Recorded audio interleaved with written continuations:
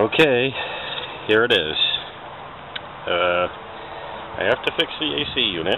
Now, when I went and I hooked up uh, the new adapters here to convert it from R12 to the R134A, um, I put in two cans, and right back here, I had a leak. So either, and you can see there, there's a little bit of a gap. Um, so what I'm going to have to do is I'm going to have to take that off. Um, since there's nothing in the system, uh, there won't be any pressure. Uh, so it'll either be the, it's more than likely it's the little O-rings that are on there that I'll have to replace. Here we go, starting now.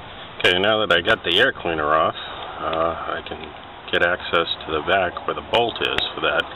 And as you can see, if you're right on my Facebook, uh, I had to rebuild the whole TBI uh, injector system. Uh, it's it's kind of like a carburetor, but the fuel injectors are right there in the carburetor, so it's a throttle body ignition uh, injector, throttle body injector. Yeah, my merds are wixed. Um, so I, I took the whole thing off and rebuilt the whole the whole kit and caboodle. That's why it looks a little bit cleaner than it would normally on a 93 Chevy Suburban. Okay, well it's on there.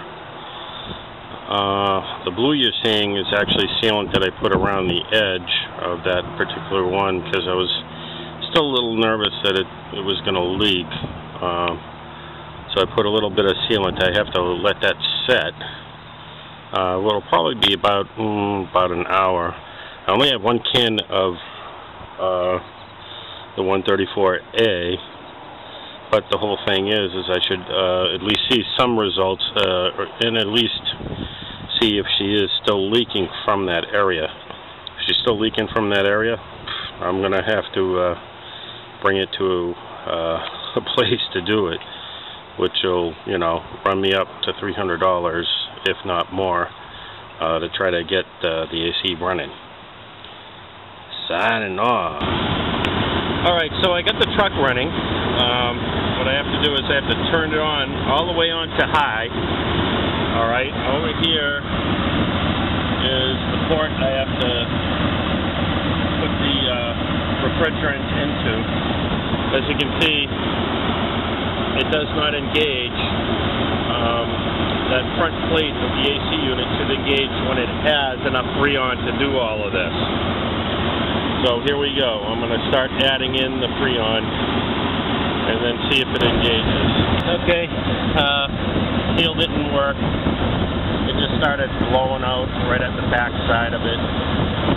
Looks like I'm going to have to do a lot more extensive work to it. Um, it did engage for about a second or so, and that was it. So now I know exactly what the problem is, and I'll be able to fix it without without a hitch. It just sucks that I used uh, couple of cans just to uh, figure that out, but at least that's done. So I know. Okay, so I replaced the two back seals right there, and I started recharging it. You can see the pressure is holding uh, fairly steady. Um, I have to add this can and probably another half a can in order to get the AC really nice and cool in the truck. But uh, seal kit was like $9.99 for all of that, and a couple of cans of uh, refrigerant uh, came to like $35, $40 total to recharge, retrofit, and everything. Okay, so I get the AC uh, kind of up and running. I'm going to need a couple more cans of uh, Freon. I mean, it's cool, but it's not as cool, and the indicator says I need probably about another uh, 15 to 20 uh, psi of uh, refrigerant uh, in order to get the AC running properly. So I'm off to Walmart to get it, and then uh, we'll see hopefully this will do it. I mean, now that the seals are fixed, I mean, I can feel cool air compared to just like normal yucky hot air coming out. Okay, so I did it. Uh, it took uh, basically four small cans of the Interdynamics uh, coolant. Um, I went through I went through uh, two large cans and a half a can until uh, the seal blew basically. So I had to run out and I got uh, a bunch of small cans of the the sealer and refrigerant, and now I've got a blast in AC, which is really good. I mean, it's it's putting out really, really nice cold air. Thanks Interdynamics uh, for the recharge kit and conversion kit that you sold. Uh, well, I bought of yours, I should say. Uh, it was a really good kit. It was very easy to understand and very uh, simple. Uh, Mr. Ring, you also gave a, a interactive DVD with it, so uh, that's it. AC is done. No more sweating people or baby, especially here in South Texas. Bye-bye. Uh, AC in my truck. No more driving to work with the windows down. No more driving anywhere with the windows down due to the fact that it's so damn hot down here. I mean, I love it. I, I like it and everything else.